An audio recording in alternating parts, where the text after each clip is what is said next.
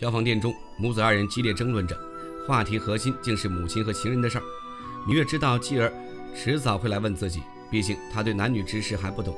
芈月告诉他，义渠君几次三番救了自己的命，对自己有恩。继儿认为有恩报恩就行了，为何要与他行苟且之事？芈月解释道：“饮食男女，食色性也，他们之间不只有恩，还有情。何况二人相貌相当，情投意合，合乎天伦礼法。可偏偏就是有人爱多管闲事。你父王的墓中葬着魏王后和许多故去的妃子，他在那里并不孤独。”嬴稷质问母亲有没有为他考虑过。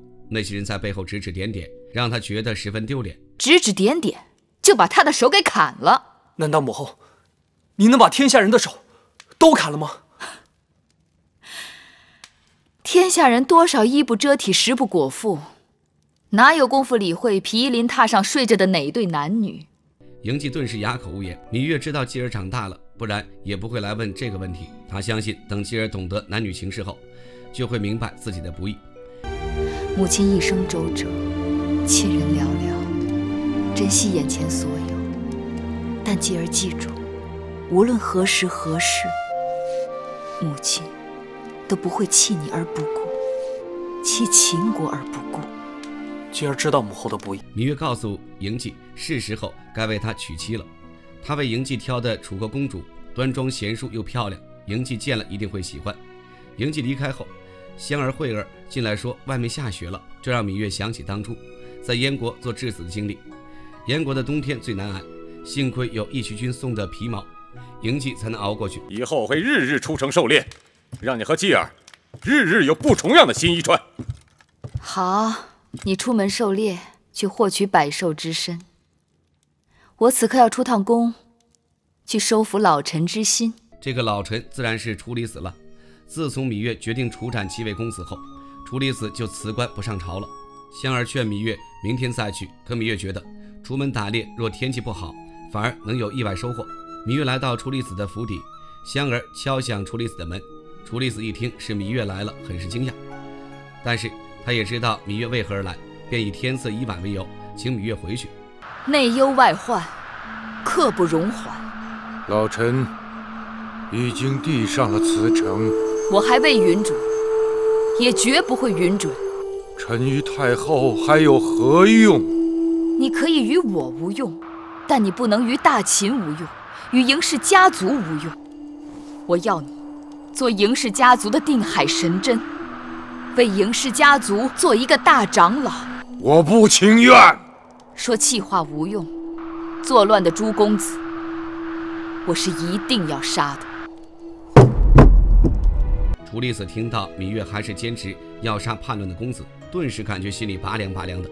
自己请辞，以为芈月会改变决定，没想到一点用没有。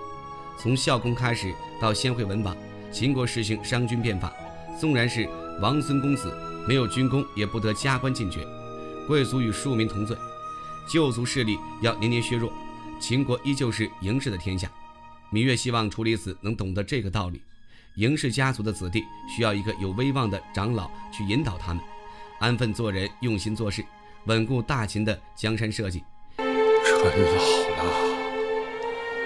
看不懂世事，料理不了朝政。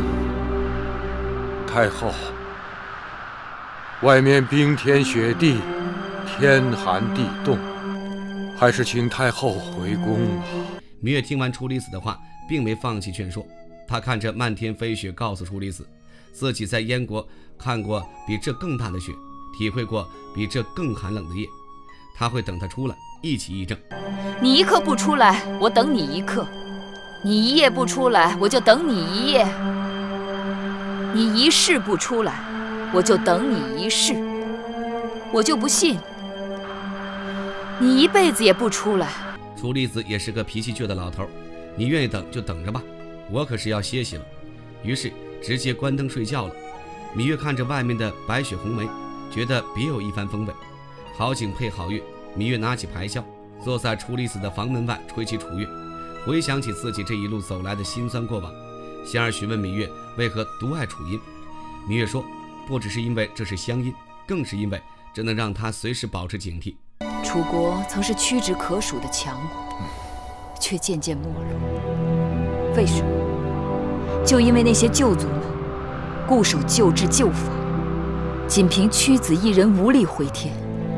今日我若是从这院子里走出去，秦国就有可能倒退，重蹈那些败落之国的覆辙。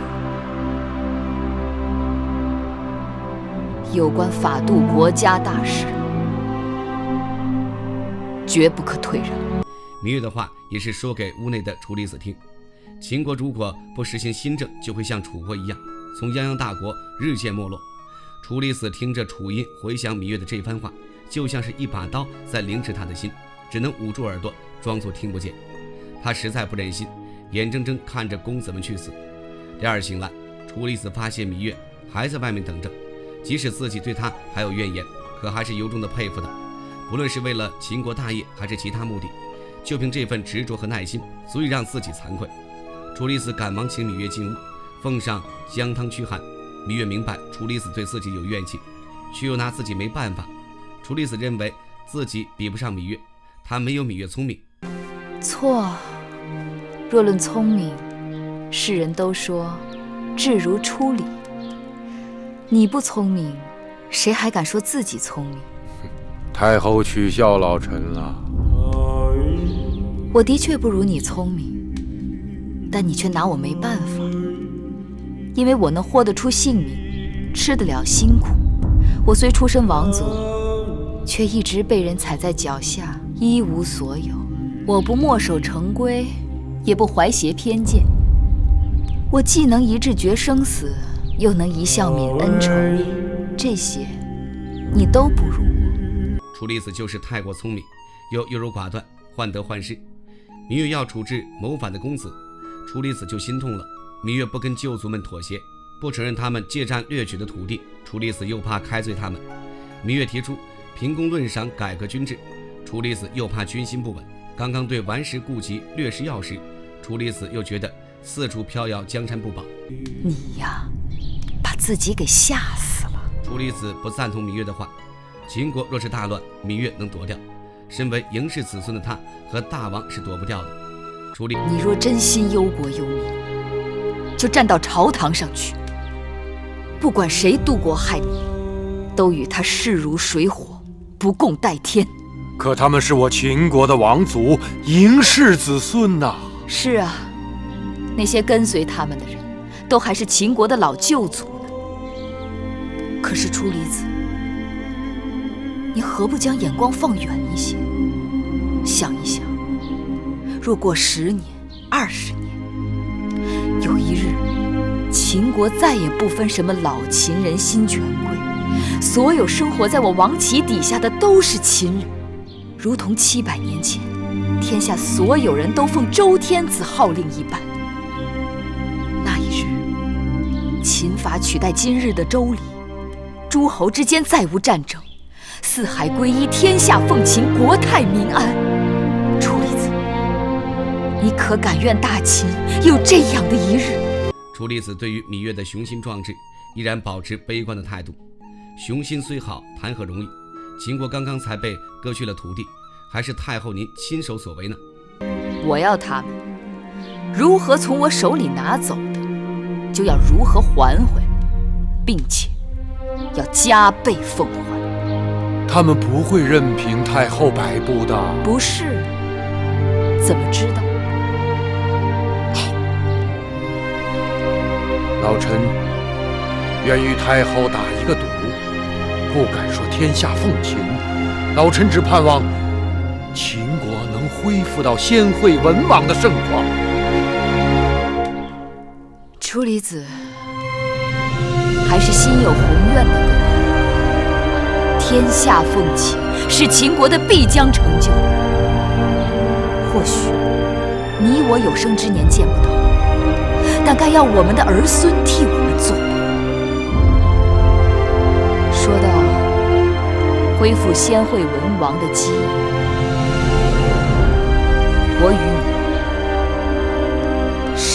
为期。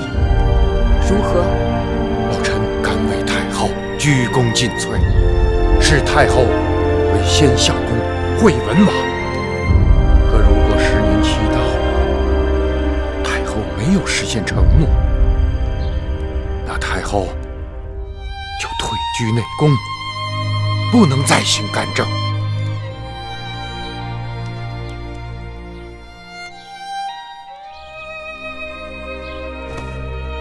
好，君子一诺。老臣与太后即按三下为约。芈月和楚离子立下十年之约，在这期间，楚离子不再反对芈月的新政变法。公元前三百零五年，叛乱七公子在咸阳伏法，朱公子之乱就此平息。长达三年的朱公子之乱，以公子华为首的七位公子在咸阳城内被斩首示众。公子华身为秦惠文王的长子，战功赫赫，自认为有重臣支持就能登位。可是却被处处不如自己的嬴荡抢走王位，这让他的内心逐渐扭曲起来。明明能享受一生荣华富贵，非要作茧自缚，最终血洒刑场。芈月前来祭拜秦惠文王，和他说起当年出游去祭奠商君的事儿。当时芈月不明白，秦惠文王既然恨商鞅，为何又要祭奠他，让他的尸骨葬于荒山野岭？此刻自己似乎知道了原因。有些人尽管活着的时候，他可能是你的敌人。但有一日，他的幸福却不知不觉的会成为了你的幸福，存留在你的心头，在你的血脉里，成为你生命中的一部分。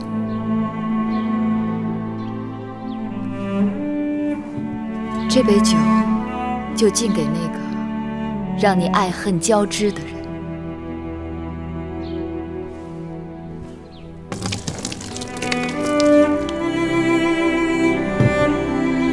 你是秦国后宫所有女子的夫君，与我却是第一个男人。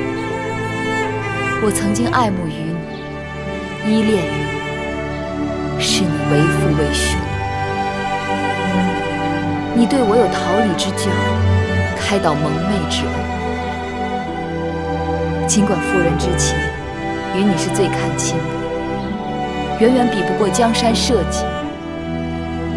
但你却给了我从未给过其他妇人的信任。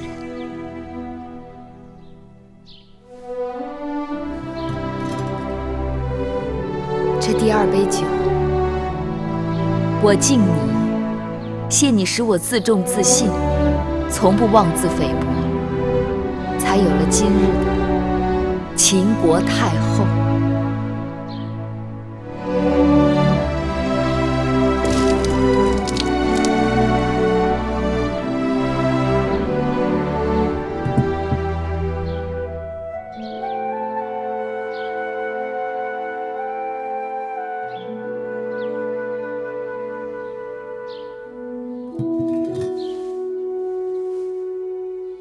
这第三杯酒有些难了。我一直问自己：倘若你在世，是否会情愿拿你那七个公子的性命，来换取秦国天下的长治久安，换取商君之政的重新推行？我狠心做了一件。世人都觉得为难的事，但若是不做，只怕秦国就要为难。我今日站在这里，是想对你说，我所谋划的，正是你曾梦想过的王图霸业。有朝一日与地下相逢，我可以站在你面前对你说。我无愧于你大王嬴驷，无愧于嬴氏列祖列宗，无愧于秦国先驱的王力。芈月对着秦王敬了这三杯酒，在他的心里，嬴驷是一个高瞻远瞩、坚持变法新政、有勇有谋的君王，对自己也是其他妃子没有的信任和宠爱，有桃李之教和开蒙之恩，他们之间的关系如父如兄。